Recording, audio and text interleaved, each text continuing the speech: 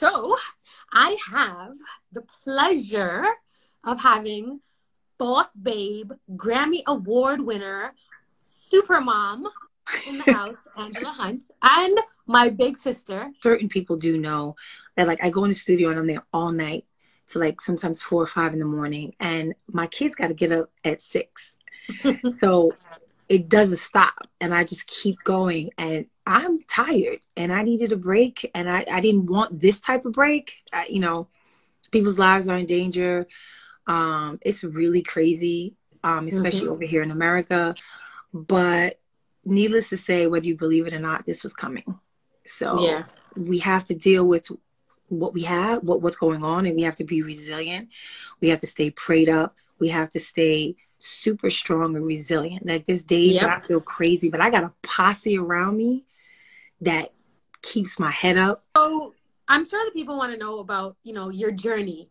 You have won a Grammy. You have written songs for multiple genres. Um, you know, you've just done a lot of really, really amazing things. So, what was that journey like for you? I've been singing since I was three years old, but I actually fell into a video production company at a really young age. And in that company, I started as a casting director. I casted many, many, many, many, many videos in the 90s. And then after casting for a while, I actually became a stylist and I styled many, many groups like Boyz II Men and the list goes on and on. to name. I, I was okay. born in Brooklyn um, and I was raised in Barataria and, and with my cousin and my grandmother. You know, I was like a lot of, you know, kids in Brooklyn. You know, if you wasn't acting right, you get sent back home. Yeah, your so, right back home. you get sent right back home. Um, so I grew up in both places, um, which I'm very fortunate to have an upbringing, uh, upbringing in um, in Trinidad because it was definitely grounding. Walking up Malick Hill every day. Shout out to Crazy. Shout out to everybody in South. How do you think that growing up in Trinidad has influenced, you know, your life living abroad now? Um, it was everything. I mean, because you know, when you, I, you know, like lyrical can attest to this. Like living in Brooklyn is like living in Trinidad. Yeah. it ain't really that much different. That's you know? true. the next door neighbor gonna beat you if you're outside acting crazy. Yeah. Eating all the same food. You know, you're being raised almost the same way. But I mean, once I landed into that concrete jungle into the city, then I really knew I was in New York and I knew that I had to make something of myself. Like I refused to become a product of my environment. Like I could hang with everything that was going on, everybody who was selling drugs, everybody who was doing drugs, but I refused to go down that road. I just knew that there was something different for me in life. And it was up to me to make that decision to go down a different path. Right. So you were casting videos and stuff when you were small, but where did that where did you actually begin, you know, writing um, and actually singing um, professionally? Um, I always I always wrote. I, okay. I, I, always wrote songs since I was since I was young. I always did like fashion shows. I would sit on in front of my mother and I would sing her these songs that I wrote. Um, but I really didn't know I could really, really hone in on being a writer if it wasn't for this producer, singer songwriter named Corey Rooney. I'm gonna say it again. Corey Rooney. If you know, a lot of people are not exposed to a lot of things um, in the music business because you know it's just a luck of the draw if you get to meet people and you get to be around certain people. But i was actually singing in a studio one day and he was actually in a room producing mariah carey. Now Corey Rooney has a long history at sony records. He is responsible for j lo for mariah carey. The hits are just too many to mention. And he heard me singing in a hallway and he came out and he said, "Who's singing?" And I was like, "I don't know." With me, he was like, "No, it's you. It's you. There's nobody else in the hallway." And I was like, "No, I'm a rapper." Like at the time, I, was, I thought I was a rapper. I just knew I was. And he told me, um, "No, I know it was you." And he's like, "Did you write that?" And I kind of confessed, and he kind of that was my journeys turning into like a singer because prior to that, I was a rapper. So, sure. where do you find your inspiration when it comes to writing music? Um, in the beginning, it would be my friends. Because if you look around you, everybody's going through like yeah some crazy stuff. and it was easy to just look at my friend who was getting cheated on, and this one here was doing this, and you know, living in New York City, there's you could you could never be short of inspiration, and that's where I thought I was getting my inspiration from. But then I realized it was it was way much more than that. Like, you know, I've said it before, and I, I'll continue to to believe it and continue to say it that I honestly feel like I'm just a messenger and I just be waiting for the beam to come down and it just jumps in me and the songs just come out because sometimes the songs come out and I'm like, where where'd that come from? Um, I was sitting in the studio and I was looking out of the window at 42nd Street and I was like, I'm not gonna do another party done. I'm the type of person that when I do a song, that's it. I'm I'm not doing I'm not doing it again. Why? Yeah, you already yeah. did that. You know? So you never create something else. Let's, do something else. The thing about songs is like when you do a song, you're never going to be in that moment. You're never going to be in that time space. You're never going to feel that passion you were feeling at that moment. So you can't create that over again. Yeah. But you can go on to do something greater than that. And there was actually another song on the track and I I decided to do someone else's music. I had never done it before, and I said, let me let me try. And my engineer looked at me and stopped the music and said, "You just need to do your own thing." And I said, "Okay." And I was like, "One bon ami." You couldn't have better timing. You always answer when I call and holy and all night I wait him Lord a week. And out came the entire song. The entire song. Like all wow. the way down to the I know that's all I junkie. And I'm gonna make it want me. Oh, me, darling. Like I went back to do the holes. Never came out like the first take. You can't possibly think that that comes from you. Yeah. you cannot. If you think that it's that comes from you, no, no, no. Yeah. That's not you. That's not you. That you just you just here and you're with your messenger and you're waiting for the beam to come down and mm-hmm. that's it. That's how I feel about yeah, it. Yeah, yeah, yeah. You know I mean, I can't really take all the credit for that. Mm-hmm. You you work in a male driven industry. Like how do you deal with that pressure? I be a woman. I just exactly. My sister said it. Trust in your in your gift. I do trust yeah. in my gift, and I don't try to be a man. I think some women go about it like just you know rough and they want to walk mm-hmm. in and they want to yell and scream and be all bitchy yeah. to say the least you know? I think i'm just myself. I can't be anything else but myself. I don't want to overpower you. I don't want to try to shake you. What i am going to do is shoot the per- first person that i see in that studio and they going down. I never hold back. I will always aim to kill. Mm-hmm. Um, because that's what we do. Yeah. That's that's what we do in songwriting. You know what I'm saying? It's like eat or be eaten. As we say in Trinidad, dog eat your supper. Yeah. and I want to survive. So I think the way that I su- I survived in a lot of studios where I would walk in, like people, uh, I started in rap music. So when you're sitting around Biggie and you're sitting around Pac and Puffy and all these dudes and you're the only female in the room and they like, yo, Ange, write a hook. I'm like, all right, yeah, I'm shaking in my boots. Yeah, but you got this. but I I have to have this. Yeah. I can't I, I can't I you don't got this. It's more, yeah, yeah, it's more than that. It's like I have to have this because I have one shot to show that I belong in this room.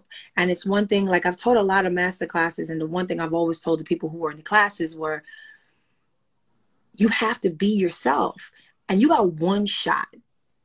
The first shot can't be can't do that.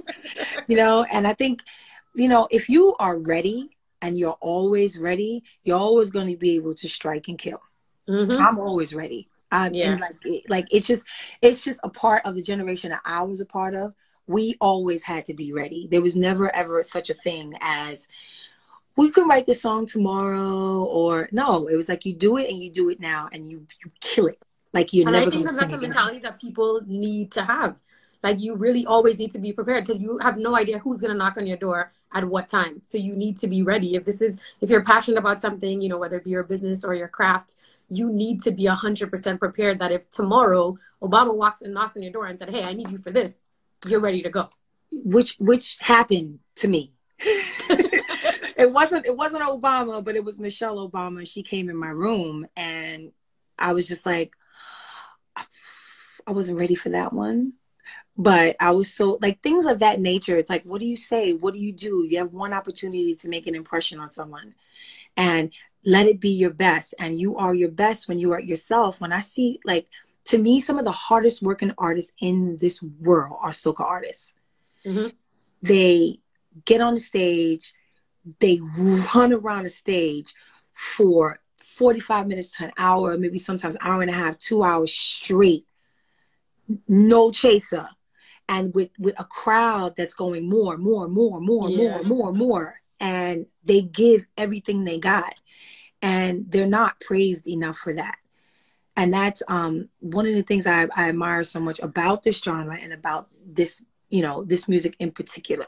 Um, is how hard they work um, and they deserve so much more recognition for it let's touch on that let's talk about what are your thoughts on the industry and the business of the industry you know and the direction that we're heading excuse me right now. Well i think i think what's happened right now this coronavirus has shaken up our industry because it was so many people who thought they were good.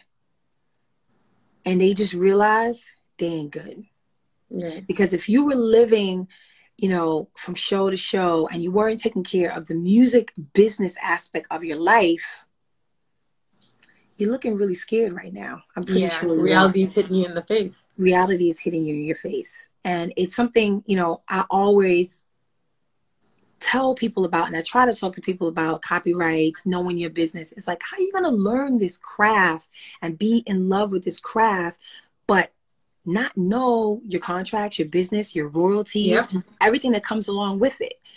People, you know, most people, you know, they just want to get up, they want to throw on their lipstick, they want to look good, throw on their clothes, but they don't want to put up a little Instagram post. I'm um, outside. Of course. They, you know? they don't want to, they don't want to do the work. And then yeah. when something goes wrong, you're right. I am Tamika says no insurance, no benefits because we have no insurance, we have no benefits, we have no 401k, no oh security, no security whatsoever. And uh, maybe a lot of people don't know that about this. And I was saying, yes, I was saying the same thing. It needs a whole overhaul. And I've tried so hard to tell people here in America, we have a pyramid, right, of business. And I'm protected by my societies, I'm protected by my publishers, I'm protected by my accountants, by my lawyers. But it is up to me to know what each of those people do. Correct What to understand what what where where my money's coming from. I know where my dollar's coming from. And when I didn't know, I learned the hard way and I learned from a lot of mistakes. Um, I wanted to know about the Grammys and how it functioned. So I went I, I got a position on the Grammy board. Um, a lot of people didn't know that. And I was on there and I was just like, oh, well, this is what y'all do. you know, um, so I think it's important now, I'm speaking to younger artists that, you know, there's so many things driven by social media and it's the saddest thing and it's the one thing i'm trying to protect my children from like this is not a reality mm-hmm. this is a whole made up world perception it's yeah everything is about perception online because no one online is going to give you $20 your neighbor will or your friend will or the man down the street will that's the reality your mother's real, your sister's real, your cousin is real. Yep. You know, that's real. Um, this here, this world that people get up in the morning and it's right next to their bed and it's the first thing they do and they grab it. You know, I'm I'm thankful for for Instagram or Facebook or Twitter for whatever to learn about people and where yeah. they're from and what they like and I, I don't really care so much about what they have on or what they look exactly. like yeah. or it's just not a real life. This popularity thing is like crazy. Like I never wanted to be popular. I wanted to be a good writer. I wanted to go down mm-hmm. as one of the best writers in the world. And I will not stop until I achieve that goal. You you, you don't need to have 500,000 You are your legacy. And, yeah. and, and what you aspire to be and what you do is what you will become. And what you put out is what you get out of life. We are all mm-hmm. responsible for the space that we live in. We have this space here on earth, and this is your space. Like, I never care about the man behind me. I could not give two cares what the person is doing behind me. You know, I hear so many like people put all this competition, you know, about other artists next to you and this one sounds like you. I don't know who sounds like me. I don't know who's doing what because I don't care about who, who's You're behind. in your own lane. I'm here Tunnel and I'm focused on going that way. And if more people stay focused on what they're doing and being kind to the person next to them, then we'd have better music. I went from studio to studio. I used to walk from Brooklyn to Manhattan. I used to not have no money to eat um, food, and I used to go in the garbage straight up, get food from the garbage in studios. Everybody's like, "Oh, Angie, you okay? How you getting home?" I'm like, "Oh, I'm good. You know, I'm gonna get in a cab," knowing that I was gonna walk home. Today, you probably have no one that's never seen that type of hardship. Mm-hmm. The way they're getting on so quickly or doing the things that are so messed up to get on. Like and it's all about instant gratification, you know. That's the problem. That's the reality of the That's situation. the instant gratification. I've told a lot of artists. I said, listen, I've heard soca artists that they've played me other songs that they've had that were amazing, but they're like, yeah, man, but the crowd not responding to it. I'm like, who cares? That's the job we do. Our job is to give these people what they don't know they want yet. Mm-hmm. So if I was like everybody else and said, "Oh, I'm just going to give them another party done because let's just keep it going, it works," no, that's not you being true to yourself. I'm not being true to myself. I'm going to be real and I'm going to do what my heart feels. And my heart right now tells me to put out this moment of me. And that's what I'm going to do. And either they're going to get it or they're not going to get it and, and if I worry about that, then I'm in this for the wrong reason. Where does soca come into my life? And actually, how it started was Diplo gave me a record. Okay. And um, it's funny. At, it, it's funny that it was Diplo, but it was him. And he gave me this record that was crazy. It was like this dusty Oh yes, Britney Spears too. Somebody said shout out Britney. oh, shout out Vaughn too. Vaughn just said big up Karen. What's up, Vaughn? Um, and I just uh, what was I saying? I totally forgot. Uh, Diplo. No, yes, no, yes, yes. He gave me the first record, and I was actually pregnant, and um, and I and I and I wrote to it in the bedroom, and it was actually a record called TNT. Oh wow! Um, and my mom said, "Well, you know, if you could write a record about New York, why you can't write a record about Trinidad?" Trinidad. I was like, "Okay." So I sat in my room, and once again, this record came to me, and it was like, ah, "We've been drinking since yesterday, partying on the road." Them boys and them up in Laventille, them coming down can be old. Beating band down on Nelson Street, and the beat them they won't let go. J'ouvert morning, I fed tonight, Barataria, yeah, that's my home. Wazzy, wazzy, wazzy. Oh, Trinidad and Tobago. Hey, hey, hey, da, da, da, da. Oh, I, I, love that record. Shout out to Christchurch, anybody in Christchurch, um, family in Christchurch. Shout out, shout out to my dad, Ian Franklin, Abdul Franklin, call him what you want. To my sister, Tamika. I won't blow her up. My sister looks just like me, and one day I'm gonna. Hi, sis. I'm your so everybody sister. can see. so, Aunt, what's what's the next Caribbean project? You know, people love you, people miss you. I remember the first time that song dropped when Middle dropped, and I was somewhere, and somebody was like, "Oh my God, Angela's back!" Like, where was Angela? I can't believe she's back, and people have been so excited to to have you, you know, back. Not to say that you're really left, but people yeah. just love your personality. People love your music. People love you. So i know that there people are craving to get more from you. So can we expect any more caribbean projects coming up? Um yes. Um it's funny how people say that oh you know she bow out or i was like i, I didn't go nowhere. Who said i exactly you know, I, I'm not. I try to tell people that I'm not a soca artist. I'm a global artist. Correct. And I just, I do. I, I'm a writer that has written for African artists, for German artists, for British artists, for Indian artists. I've worked with people from all over the world. And because of that, and traveling all over the world and writing all over the world, literally for the first 10 years of my writing career, um, I can never just stick to one thing. Mm-hmm. My sound will always have something else mixed in it. Now, right. there was a point that I just was like, no, I didn't want to do anymore because I just felt like the industry was so crabs in a barrel. And I didn't like that. You know, I just felt like, where's the support? Like, where's the love? Like, I would, I didn't mm-hmm. see that. And I just was like, I didn't really like that. And it kind of just like turned me off a little bit, you know? Yeah. And I was just like, it just, I don't know. It just kind of rubbed me the wrong way a little bit, to be honest. And sometimes you need to take a step back, you know? You do. You kind of need to take a step back to know what what do I want to sing about? What do I want to talk exactly. about? What do, what do I want to do? You know what I mean? And um, that's kind of like just what I was doing. And I have to wait for the music to talk to me, to tell me wh- where is it I want to go. But in the meanwhile, while I was doing that, people, and I hate, I don't like, I don't ever say fans, I say supporters. People will come up to me in airports. They come from every nation, black, white, Asian, Chinese, don't matter. Please, please, please, please put out more music. And I would just be like, oh my God. I remember being in a party. Actually, it was Ryan Saeed's party. And a woman came up to me and she said, Angela, this is my moment.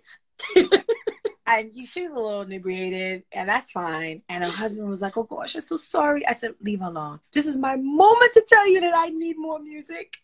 And Aww, that's so sweet she listen a, a drunk mind speak a sober tongue so i wasn't mad yeah. at her and i and i just remember going you know this is not fair to the people who want to hear the music i can't let the way other people want to go about living their lives affect. Me yeah. bringing joy to people mm-hmm. um and so i have so much music that i didn't put out because i just felt like okay well if we're not going to get supported and we're not going to have the support why should i put this music out mm-hmm. i could stay over here and collect my big checks with my big pop music you know go and write a couple songs for american idol go and write a couple songs for yep. this one and that one um, drop a couple of trap songs be popular and call it a day but that's not the life i lead really you know what I'm saying? Like, I, I always fight the hard fight.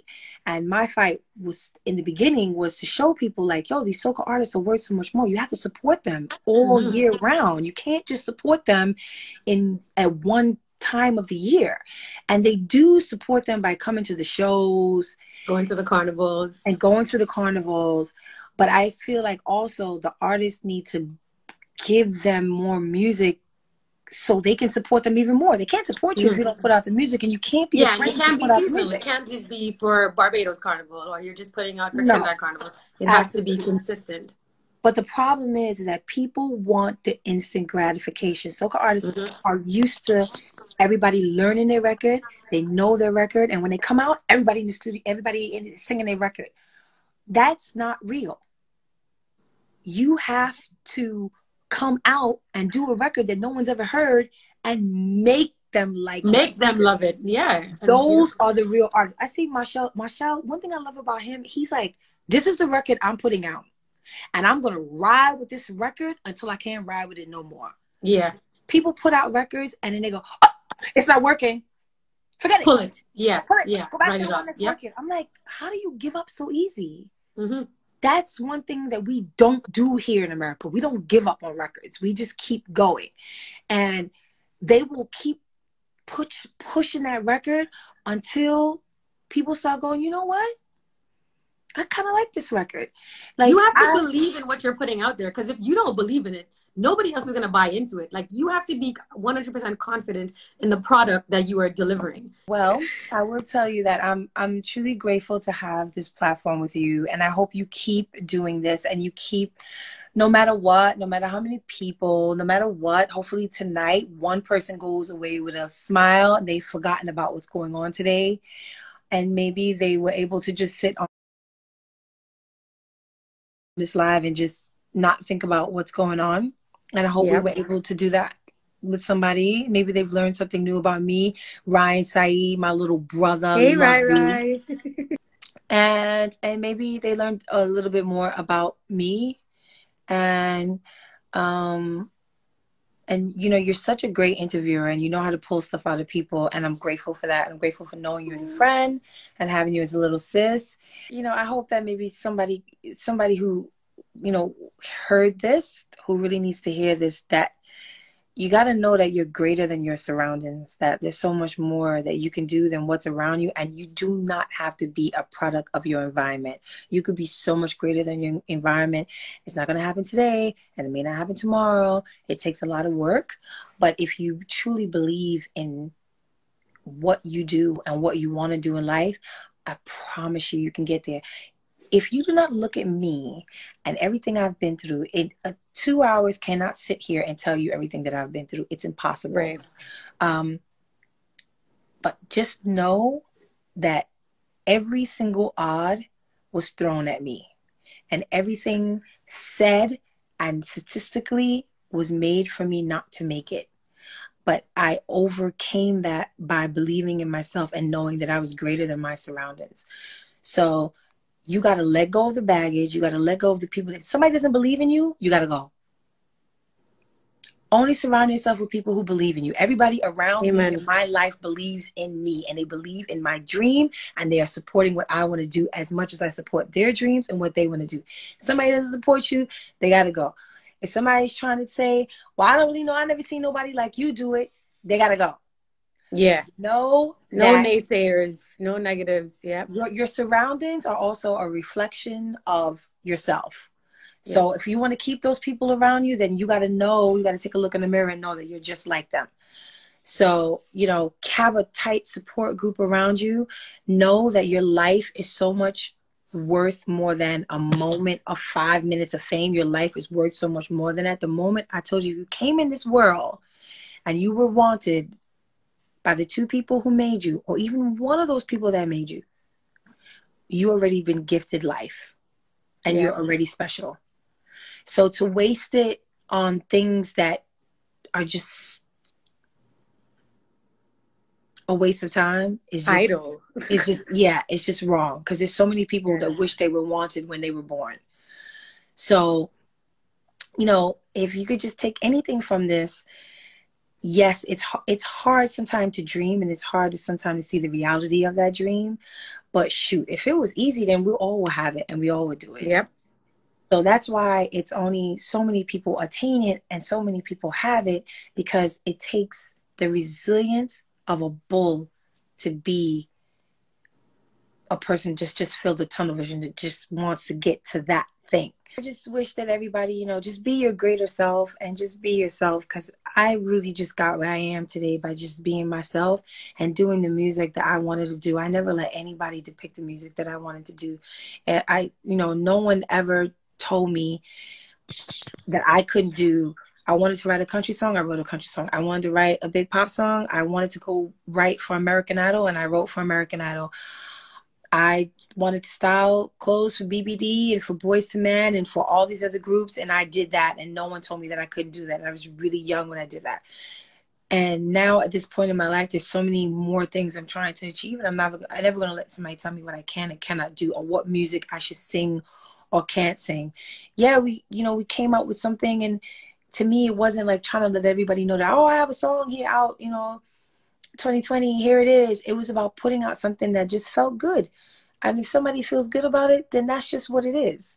And that's just what I'm always going to continue to do. I don't let people pressure me to go, hey, what are you doing? You know, like this one coming out. And, you know, you want me to to give into the pressures of social media, and that ain't Angela Hunte. If you want that, go listening to somebody else, cause that yeah. ain't me. I'm always gonna do me, and if y'all can leave here today just doing that, being you and doing you, we're gonna have so many great people coming out in this world. Stay safe, stay blessed, um, and again, thank you guys. We love you, and make sure you follow both myself and Angela at Angela Hunte with an e at the end and at Kerra Denel. Thank you guys. Thank you. And I'll call you later, baby.